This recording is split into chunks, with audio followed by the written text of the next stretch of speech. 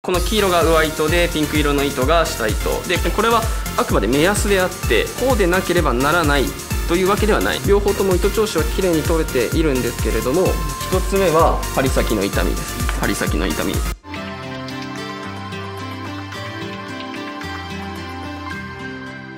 縫製バーいいですか？はい。縫製バーやっております加藤ですなんかいつも同じ部屋で撮影してちょっと寂しいんですけどコロナで自粛中ということでまた今日も超初級講座やっていきたいなと思います。今日は、え糸調子の取り方をお話ししようかなと思うんですけれども皆さん糸調子の取り方と聞いて例えばボビンのネジですとか糸調子のこのダイヤルを回すだけだというふうには思っていないでしょうか？え実際のところ糸調子というのはさまざまな要素が絡み合って成り立っているのでネジやダイヤル以外にも針や生地あとはミシンの、え癖ですとか細い糸を縫う工場さんなんかではその部屋の湿度まで気にされるところもあるそうです。でこんな感じですごくいろんな要素がありますので一個一個語っていったらキリがないと思いますので今日は基本中の基本をお話しさせていただきたいなと思います。縫製バーえー、もう今日は最初に自分が話したいこと伝えたいことポイントを先にお話ししてしまいます。それは上下の糸のテンションを均等に保つということ。でそれを一定に保っていくっていうことをポイントとしてお伝えしたいなと思います。まあ、それを踏まえた上で早速その糸調子の説明に入らせていただきます。でそもそも糸調子が悪いというのは僕は2種類あると思っております。1つ目はこの丸1の方。まあ、これよくあるやつなんですけど、まあ、この黄色が上糸でピンク色の糸が下糸でこの2つのが、えー、総額生地だというふうに思っていただいてでこれはあの皆さんあのテキストとかでもよく見られてると思うのでそんなに難しいことではないと思います、えー、こちらは上糸が完全に下糸を引き上げてしまっているのでで下糸を強めるか上糸のテンションを弱めてもらったら均等になって糸調子が取れると。上糸が強すぎるパターン？そうですね。だからのでこれは今上糸が強すぎるか下糸が弱すぎるかどちらかですね。もうそれはえー、下糸でしたらこの皆さんご存知の通り、えー、ボビンのネジを回してもらったり上糸でしたらこの調節ネジを回してもらうっていうので対処してもらえるかなと思います。でこの下はちょうどその反対ですね。下糸が強いかもしくは上糸が弱いかっていうことですね。でここで僕があのお伝えしたいのが皆さんテキストとか学校とかで習ったと思うんですけどこのボビンの調節調整の仕方でこのようにボビンを垂らしてでこうちょっと振った時に糸がこうスススと下がる。これぐらいをあの目安に目安というかこれぐらいで糸調子を取りましょうっていう話をされているかなと思うんですけれども下糸の。強さ。でこれはあくまで目安であってこうでなければならないというわけではないんです。あくまで目安っていうことをちょっと説明したいなっていうふうに思います。これはどういうことかというと糸調子が取れるというのは最初ポイントでお話しした通り上糸と下糸のテンションが均等であればいいというふうにお話ししたので仮に上の上糸が糸調子が仮に100だとしたら下糸を100にすれば糸調子は取れます。で一方で上糸を20にしてで下糸を20にしてもバランスが取れるので糸調子が取れます。ただし上糸と下糸のそのテンションの強さによってどういう変化があるのかというと一番分かりやすいところではこちら。こちらは今、えー、上糸と下糸の糸調子のテンションが弱めの状態で縫っています。まあこの縫いの縫ってある生地のこの部分を見ていただきたいんですけどこのような感じです。テンションが上と下ともに弱い状態で縫っているものです。でこれともう一個こちらのやつを比べてもらいたいんですけど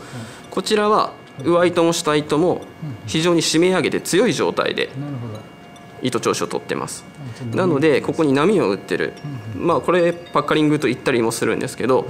こういうふうに波を打っているので両方とも糸調子はきれいに取れているんですけれども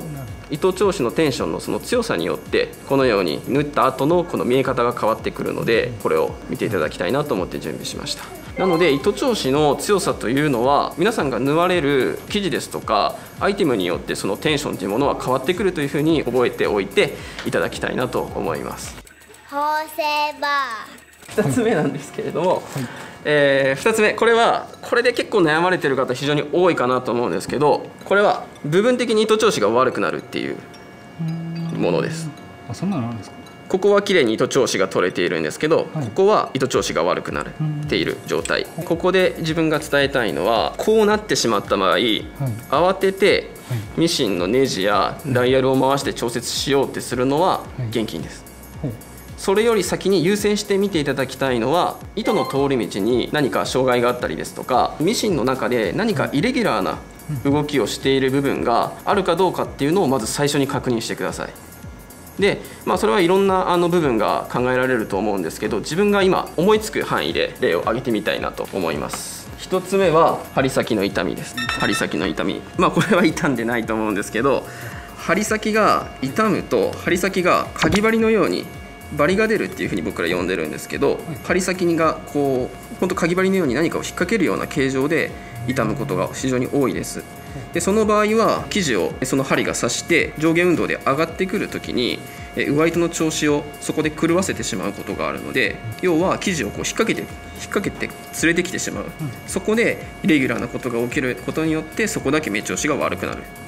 ということがまず一つあると思います。針を交換するとか。そうですね。針は決して高いものではありませんのでこまめに交換することを僕はお勧めします、はい。でまあいろんなトラブルミシンであると思うんですけどとにかく最初針を見てください、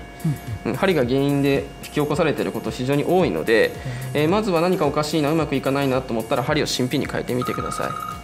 2つ目なんですけど、はい。2つ目は以前撮った僕らがやってる朝のミシンの準備のルーティンの話の中でもお伝えした糸の通り道に何か障害がないか何か引っかかってるところがないかというのをチェックするっていうのがあったんですけどそれはあのそちらの動画でご確認いただきたいなと思います。3つ目は糸の滑りやすさですね。糸をえーこのように引っ張ってもらった時に自分のこの